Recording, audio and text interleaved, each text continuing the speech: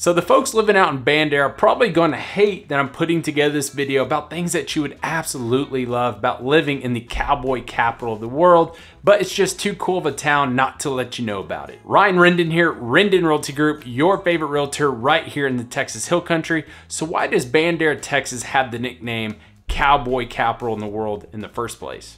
Well, it originated when it became a staging area for the last great cattle drives of the 1800s confirming Bandera as the cowboy capital of the world and a bronze monument honoring the many national rodeo champions who call Bandera home stands out in front of the courthouse lawn. So in today's video, I wanna go over some reasons why you would absolutely love living in Bandera, Texas, but also some reasons why you may not like living there. So what I did was hop onto Chat GPT since that's been the big rave as of lately to ask it what do people think about living in Bandera, Texas? And this is what it had to say.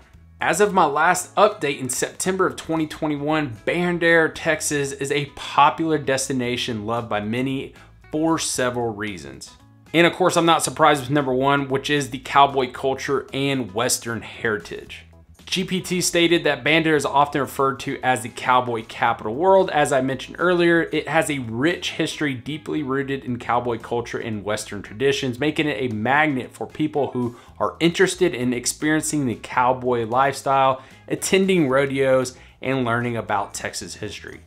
Now, this has to be one of my favorite things about Bandera itself. Anytime I go to Bandera, there's always some type of cowboy event going on, whether it's quick draw shooting competitions, roping, barrel racing, whatever the case is. If you go to Bandera, you can find some kind of cowboy event happening. And for number two, we have scenic beauty and outdoor activities. So the chat says that Bandera is located in the Texas Hill Country known for its beautiful landscapes, rolling hills, and picturesque river views.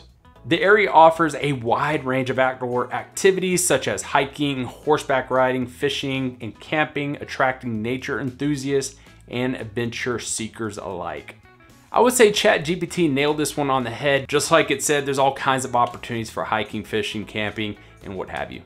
And for number three, it says that it's a warm and friendly community. The chat describes that the residents of Bandera are often described as warm and welcoming. The town has a small town charm that makes visitors feel at home, and many tourists appreciate the friendly and laid back atmosphere. And I would definitely have to agree with the chat on this one as well. Just like many other small Texas Hill Country towns, the people are very, very welcoming. And I've covered this in many other videos, but this is one thing that people love about living here in the Texas Hill Countries is how welcoming everybody tends to be in this area. And it says number four is the authentic Texas experience. It says that for those seeking an authentic Texas experience, Bandera provides a genuine taste of Texas culture, cuisine, and hospitality. You'll find local eateries serving up delicious barbecue and Tex-Mex dishes along with other Texas traditions.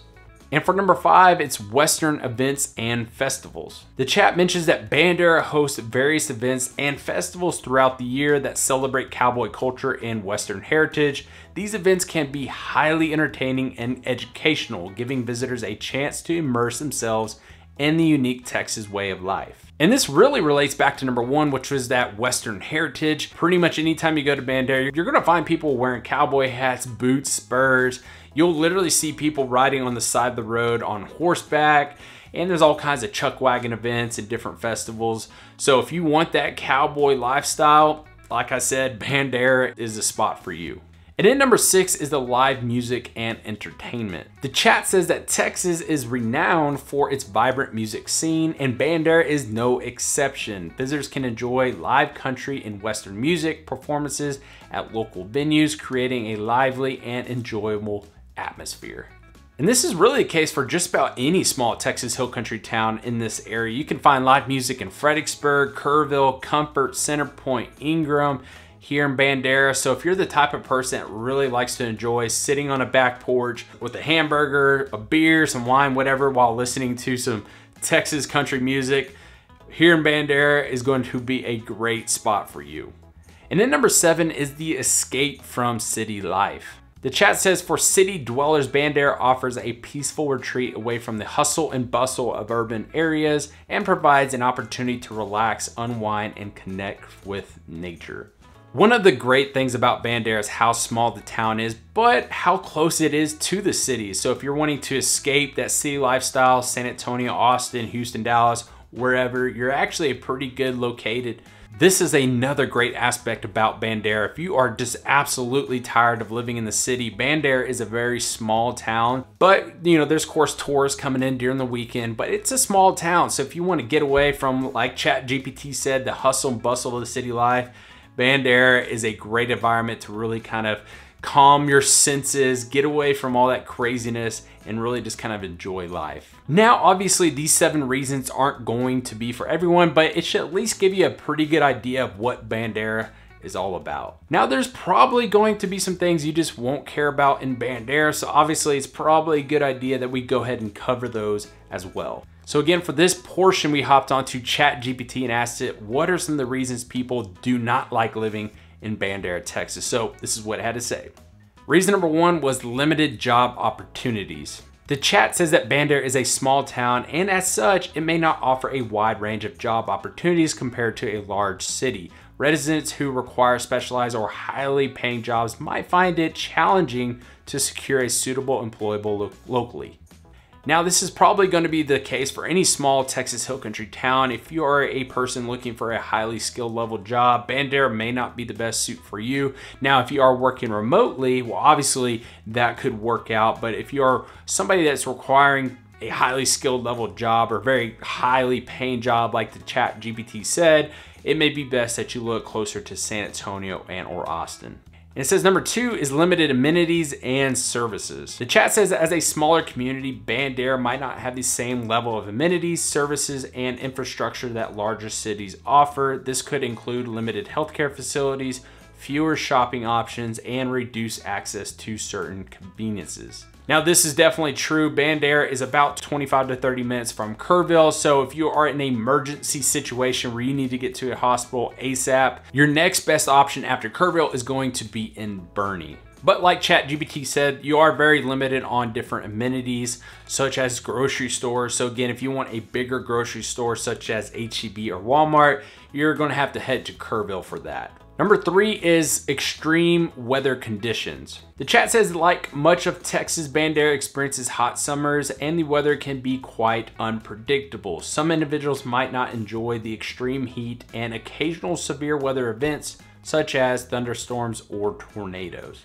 Now, I wouldn't necessarily say that we have extreme weather here in Texas. Sure, it does get hot. You know, this video is actually shot in July and it's been pretty hot this year, but for the most part, I wouldn't say we necessarily have extreme weather conditions. I don't even remember the last time we've had a tornado in the area. It's been a very, very long time, but nonetheless, it does get pretty hot here. And occasionally there's some years where we do have more rain than others, where there's more flooding happening. But for the most part, I would say our weather is pretty relaxed here in the Texas Hill Country, including Bandera. Number four is distance from urban areas. The chat says that Bandera's rural location is a draw for some, but can be a drawback for others. It may be far from major urban centers, which could impact access to cultural events, international airports, or a diverse range of entertainment options. I think for this con, this really comes down to personal preference because you're really only 55 minutes from the San Antonio International Airport and about 45 minutes from the rim where you'll have all your exotic you know, clothing stores and restaurants. And then it says number five is the tourist season impact. The chat says that Bandera's popularity as a tourist destination can be a double-edged sword. While it does boost the local economy, the influx of tourists during the peak seasons might result in increased traffic, crowded attractions, and higher living costs for residents. And for this one, I think I'm gonna have to partially agree. Yes, I do believe there's gonna be higher traffic during these peak seasons, but for the most part, I don't think it's really gonna drive up the cost of living for the residents and you really won't have to interact with them too much because most of the neighborhoods that we're gonna go over here shortly are on the outskirts of town, so you really won't have to deal with these tourists very much. And for number six, it says limited educational options. It says that the local school system in a smaller towns like Bandera might have limited resources and educational opportunities compared to larger cities. Families with specific educational preferences or requirements might find this aspect challenging. And of course, this is very true for any small town. You have very limited schools in Bandera. You have the elementary school, the middle school, and the high school. So like ChatGPT said, if there's anything specific, any special educational, you know, resources that you may need for you and your family, yes, Bandera is going to be pretty limited when it comes to that. And it says lack of diversity for number seven. Smaller towns often have a more homogeneous population, which may not suit individuals seeking a more diverse and multicultural environment. Now, this may be primarily true if you are the type of person that likes that cowboy culture and Western heritage. Well, this may be perfect for you, but if you're looking for something outside of that, well, I would say yes, Bandera is pretty limited on diversity. Okay, so now that we covered some of these pros and cons of, of living here in Bandera, Texas, I think it's time to go ahead and go over the real estate because I'm sure that's one of the reasons why you're watching this video in the first place. So it is no secret that Bandera is a pretty small town. According to World Population Review, the last population count was 876 people, which that actually blows my mind. I would have never had guessed that it was that few of people. Back in 2010, the population was sitting around 1,400 people. Now it's hard to say why the population has shrunk to 876 people as of this year. But nonetheless, we have some development going on and you need to know what the real estate prices are like and what you can get for those prices here in Bandera. So as of today, July 24th, there are currently 99 active listings on the market. And according to redfin.com, the median sales price is 310,000. Now what we're going to do is go over five different neighborhoods in Bandera and what the price ranges are for each neighborhood, but also an example of a house that you can get in each one of those neighborhoods. Okay, so for our first neighborhood, we're gonna go in pricing order. Starts with River Bend Estates, which has a price range of 100,000 up to around 200,000. Now, for the most part, these homes are manufactured homes, but right now there are three active listings on the market. And let's go ahead and see what 215,000 can get you in this neighborhood. Okay, so we're looking at this home on 604 Mountain View Drive, listed for 215,000. It's a three bedroom, two bath home with 1380 square feet. And it appears to be a pretty decent house. It has some vaulted ceilings in the living room and it also appears to be fairly up to date. But again, it is a manufactured home, so you're not going to get anything, you know, super special, but it has a pretty good sized lot as well. Looks like it's over, well over an acre. Uh, but nonetheless, this is something you can get around Bandera for that $200,000, $250,000 range. And for our second neighborhood, we have the Flying L Ranch, which is a beautiful golf course community. And they have all kinds of deer running around, black buck antelope, beautiful scenery. But this is a great neighborhood if you like additional amenities such as golf courses, tennis courts, and other common areas. Now for this neighborhood, you do have an HOA fee, but it's only $160 annually, which is really not too bad at all. But again, that goes towards a golf course and then the other common areas for upkeep. In this neighborhood right now, we have seven active listings and the price range typically is anywhere from 300,000 up to 500,000. But let's go ahead and see what kind of home you can get in this neighborhood. Okay, so we're looking at this home on 290 Knollwood Circle. It's listed for 429,000. It's a three bedroom, two bathroom home with just over 2,400 square feet. And I've actually shown this house before. It's got beautiful views out the back porch where you can see all the deer, the black buck antelope. But the house has been updated in several different ways. The flooring, it's got new light fixtures, the painting's been updated. I think in all this is a great home listed for 429,000. Okay, the third neighborhood is the Bandera River Ranch. In this neighborhood, you can find listings anywhere between 250 up to around 700,000. And for those of you who like a little bit more elbow room, these lot sizes are just a tad bit bigger. They range from anywhere between one acre up to around three acres in size. And as of right now, we have 10 active listings on the market within this neighborhood, but let's go ahead and see what kind of house you can get within that middle price range. Okay, so we're looking at this beautiful home at 377 Park Road. It's a three bedroom, two bathroom, 2151 square foot home listed for 557,900. Now this house is pretty up to date. It's got beautiful landscape, but as you can tell, it's got high ceilings, beautiful wood floorings. It's even got rock archways. But for the most part, you know, this house is fairly up to date and, you know, it does sit on a pretty decent size lot too. So I would say in all for 557,900, this is a great home. Okay, so for our fourth neighborhood, we have a neighborhood called Bridgegate. Now, home prices for this neighborhood range anywhere from 600,000 up to right around $1 million. And similar to the last neighborhood, if you like a little bit more elbow space, these lot sizes range from anywhere between 2 to 10 acres. And as of right now, there are seven active listings on the market. But for this neighborhood, let's go ahead and see what you can get for the upper price range.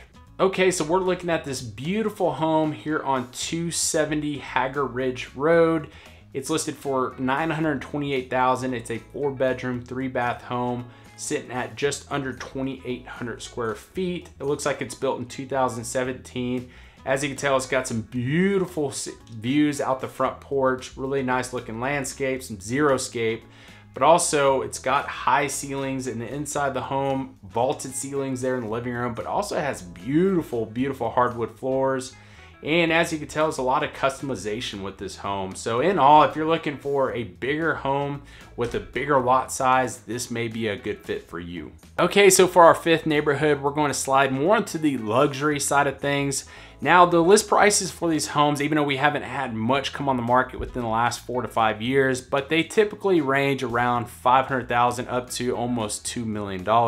And they also have some pretty big lot sizes as well with most of them sitting right around 10 acres. But like I said, we really don't have very many listings come on the market within this neighborhood. As of right now, we only have one active listing, but let's go ahead and take a look at it. Okay, so we're looking at 345 Laguna Road. It's a three bedroom, three bathroom home with 3150 square feet listed for 1.29 million.